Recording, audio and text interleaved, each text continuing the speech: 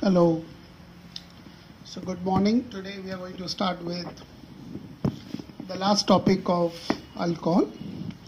That is how do we do chemical tests for alcohol? The chemical testing for alcohol. Today will be the short class. We'll just do one topic.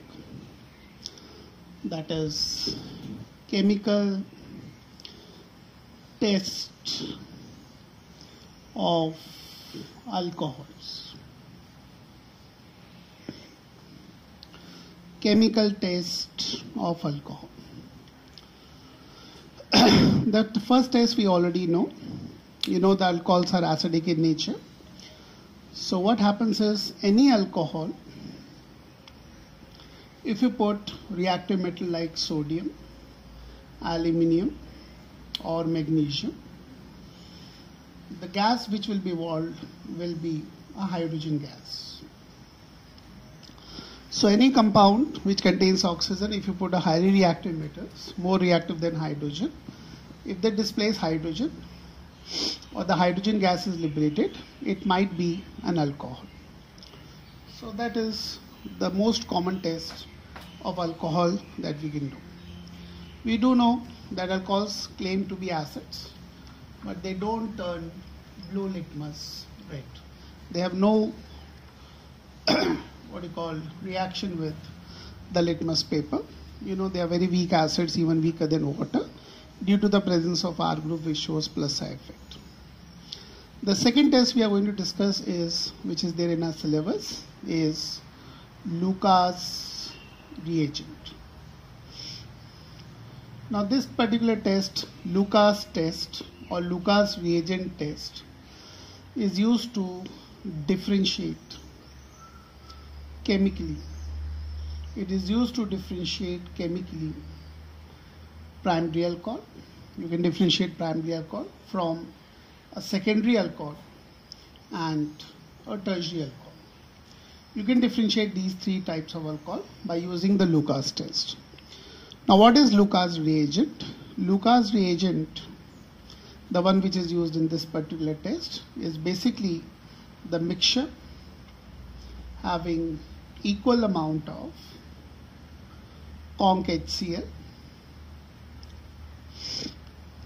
and anhydrous zinc chloride. So mixture which contains equal amount of conc HCl and anhydrous ZnCl2. The reagent is called Lucas reagent. Now let's see what is the general reaction for Lucas test.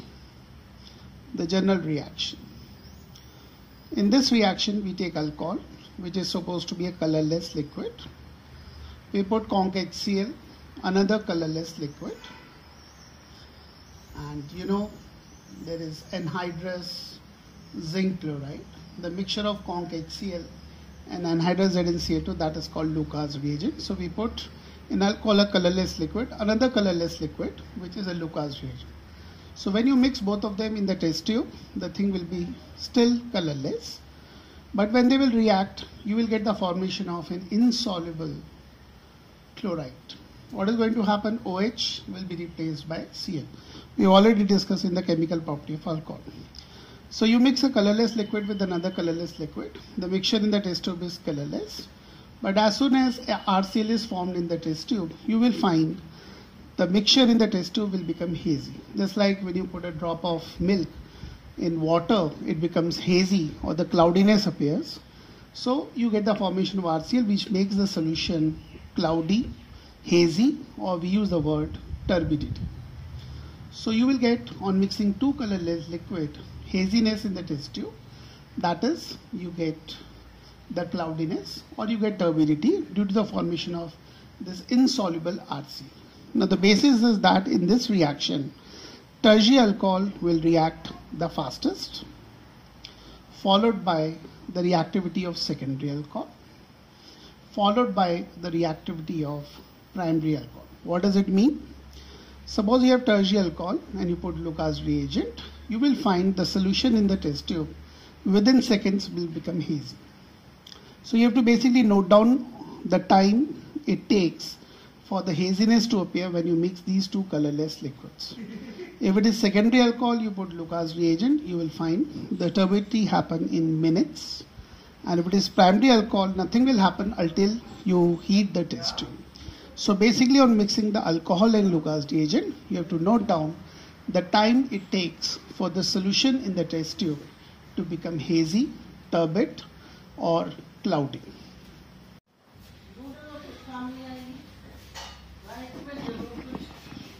So let's revise.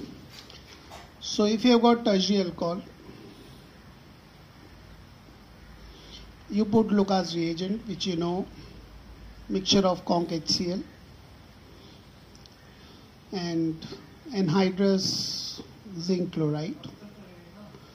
Reaction will be very fast, and due to the reaction, what is going to happen is turbidity in seconds. Haziness will appear in seconds. If you got a secondary alcohol, you put same reagent, Lucas reagent. Haziness, cloudiness, or turbidity in minutes, as I told you. And if it is primary alcohol, put Lucas reagent. Turbidity, haziness, milkiness, only on heating. Otherwise, no reaction. Let me demonstrate you with the help of an example. Suppose they ask you to differentiate between butane 1-ol, normal butanol, and tertiary butyl alcohol. The chemical test always you have to report in the tabular form and draw the structure. So we have butane 1-ol, which is an example of a primary alcohol, tertiary butyl alcohol, 2-methyl propane 2-ol, which is an example of tertiary alcohol. We have Lucas test. We put Lucas reagent, which is conc HCl and anhydrous ZnCl2. Since it is primary alcohol, the reaction will happen only on heating. And you know what is reaction? OH replaced by Cl. And since it is a primary alcohol, it will happen only on heating. So you need to mention that turbidity on heating. Turbidity on heating. Over here it is a tertiary alcohol, it happened within seconds. So you last write Lucas reagent, conc HCl, anhydrous ZnCl2. It will happen in seconds and the OH will be replaced by Cl. So you write turbidity happens in seconds. Turbidity in seconds. Haziness, milkiness in seconds. So you can see we have used uh, Lucas test to differentiate between primary alcohol and a tertiary alcohol. Let me give you one more example. Suppose we have to differentiate propane 1-ol and propane 2-ol. Let's differentiate between propane 1-ol and propane 2-ol. This is primary alcohol and propane 2-ol is an example of secondary alcohol. Propane 1-ol and propane 2-ol, primary alcohol. This is a second secondary alcohol. So again I go for the Lucas test. Write the name of the test over here. We are using Lucas test and the tabular form. How to put the answer? Write conc HCl anhydrous ZnCl2. What is the reaction? OH replaced by Cl. And then write turbidity only on heating. Haziness, milkiness. The solution become hazy only on heating since it is a primary alcohol. In this case, if you add Lucas reagent, which is again a mixture of conc HCl and anhydrous ZnCl2, OH will be replaced by Cl and mention turbidity in minutes, haziness, milkiness in minutes. So this is how you can differentiate between primary and a secondary alcohol. So this was a Lucas test by which you can differentiate three types of alcohol, primary, secondary and tertiary. Lastly, we have to do one more test that is called iodoform test. Iodoform test comes handy sometimes we need to differentiate between two primary alcohol. Now, if you've got two primary alcohol, definitely you can't use Lucas test because in that one has to be primary, other one has to be secondary, or a primary, or a tertiary, or a secondary, or a tertiary. Let's see iodoform test. Iodoform as such is a polyhalogen compound, a yellow solid. Iodoform is a bigger brother of chloroform, CHI3. Some people write iodoform as CH3I, but we should be clear it is CHI3. It's tri- triiodomethane. It's a polyhalogen compound. It has more than one halogen, more than one iodine. Iodoform is not given, test is not given by every alcohol. There's a criteria. Only selected alcohol can form iodoform. The condition is in alcohol, alcoholic carbon now, alcoholic carbon doesn't mean the one which has drunk alcohol, it means the one attached to OH. So, alcoholic carbon that is attached to OH should have minimum 1H and one methyl group. CH2 will not do, methyl group will do. At least one H and one CH3. More than one, no problem. But both of them should be present. Both, not either. And you can have anything beyond that. So if alcoholic carbon has a H as well as CH3, I'll tell you the uh, use of these groups also. If you react such group containing compound with NaOH and I2, which is as good as reacting with NaOI, that is formed when you mix NaOH and I2, that is sodium hypoiodide. Again, a bigger brother of sodium hypochlorite, which are now being used widely for disinfectant. Sodium hypochlorite solution is used for disinfectant. So when you mix NaOH and I2, which is as good as reacting with NaOI, this compound will give you yellow solid, that is iodoform. You get the formation of yellow PPT. This methyl group actually converts into an iodoform. Now let me show you the use of this H and this methyl group in this reaction. Actually this reaction happens in three steps. First step, the alcohol will undergo oxidation. You know what is oxidation? Removal of hydrogen. So when you reacted with NaOH and I2, which is as good as reacting with NaOI, it loses two hydrogen, one H from oxygen, one from this. So you can see if this H is not present, the oxidation will not happen. You get a carbonyl group in a compound, which may be an aldehyde or a ketone, depend what is attached to it. Suppose we have got a H over here, then it will be an aldehyde. If it is a R group over here, it will be a ketone. So first of all, these two H have to be removed, and actually for that, that this should be present. So if this H is not present, the first step will not take place. Next, what happens is methyl group, the three hydrogens are replaced by 3 iodine. So you get CI3.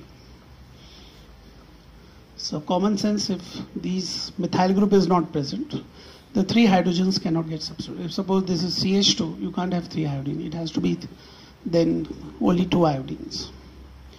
Then it is hydrolysis. You react with NaOH. This part becomes iodoform. The yellow solid. Rest part, whatever is there, becomes an acid acid with whatever number of carbon atoms.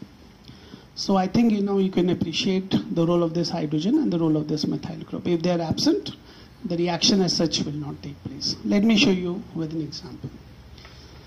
Suppose you have to differentiate between methanol and ethanol. Chemically differentiate ethanol and methanol. Both of them are primary alcohol. you won't be able to use Lucas test. Ethanol, a primary alcohol.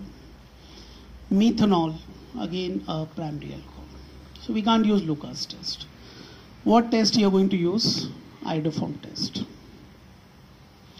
If they ask you to do the chemical differentiation, it has to be in the tabular form. Now you can see in this compound alcoholic carbon. In this compound, this is alcoholic carbon.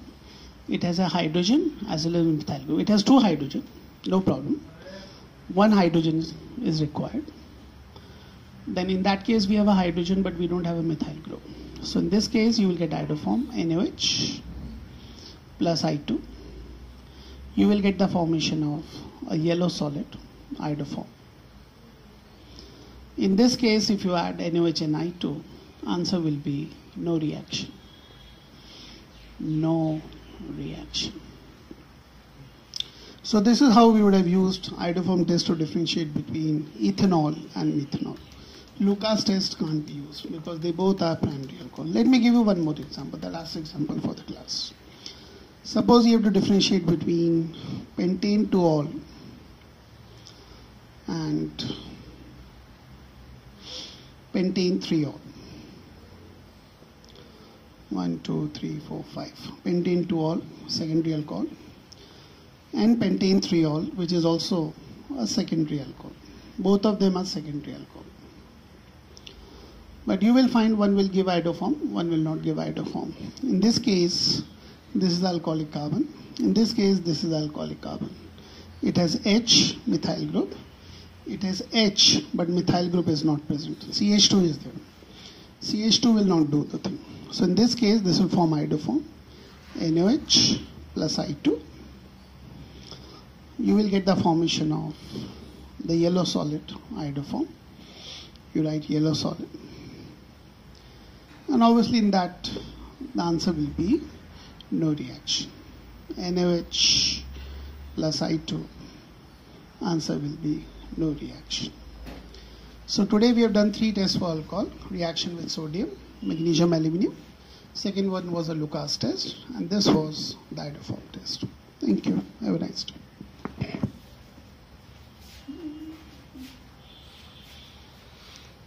Chalo.